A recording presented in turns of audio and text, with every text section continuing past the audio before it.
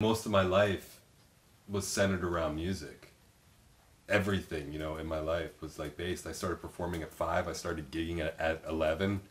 Uh, my entire identity was attached to piano and music.